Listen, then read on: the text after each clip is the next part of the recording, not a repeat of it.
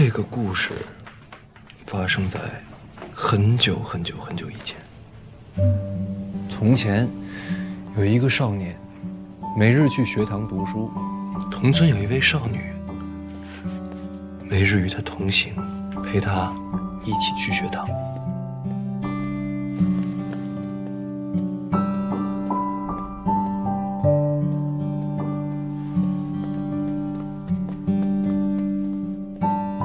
女子是不能进学堂的。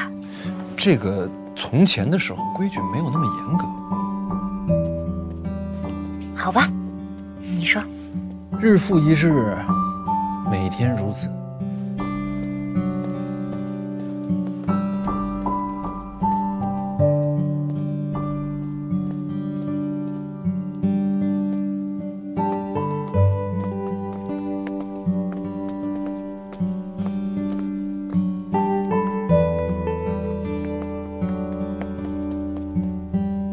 少年终于忍不住了，他停下来问这个少年：“他说，为什么跟着我？因为喜欢看你，所以才跟着你的。我不会打扰你的，不行吗？那少年说什么？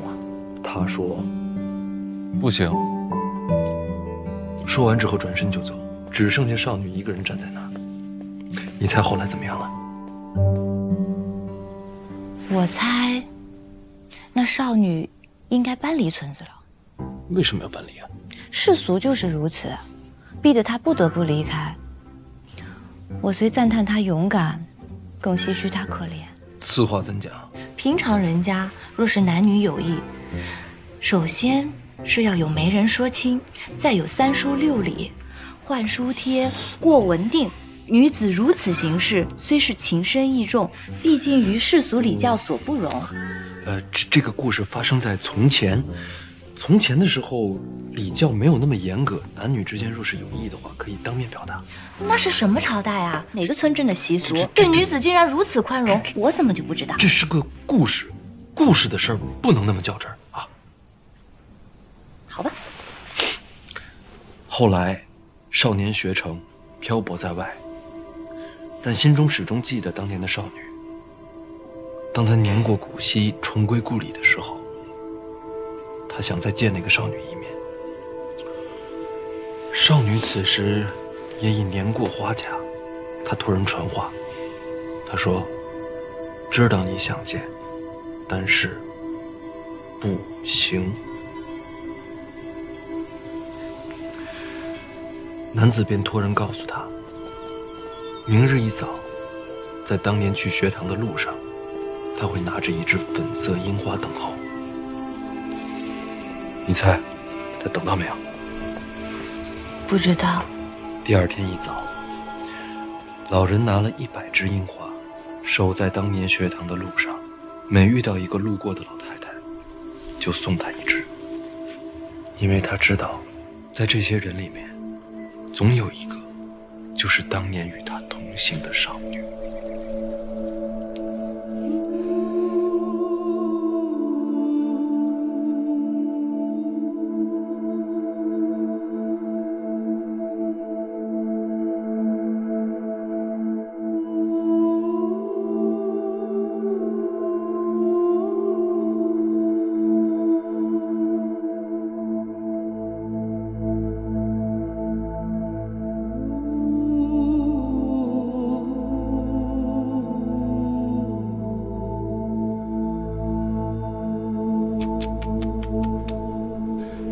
时候，就这么一句不行，错过的就是整整一生。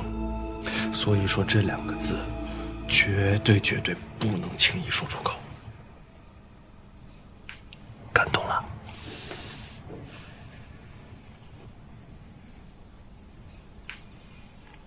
那男子可曾婚配？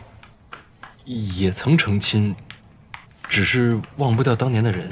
既然忘不了，为什么还要和其他女子成婚？为什么不当时就去找当年的那个少女？这个这个，他已然结婚了，过完了这一生，到了这个岁数，再回去找当年的那个少女，这是为什么呢？只不过是人生不想留下遗憾罢了。可是他有没有想过那个少女的处境？万一人家也结婚了呢？那他的家人会怎么想这件事情呢？这这个这个故事发生的那个时候吧，他规矩和礼数没有这么多，他的家人也没有，也也没有多你在。儋州的时候也进过学堂？这故事跟我没关系，我在儋州没上过学堂，也不认识什么姑娘。那你为什么要给我讲这个故事？我就是想跟你一起批判这个男的，批判他。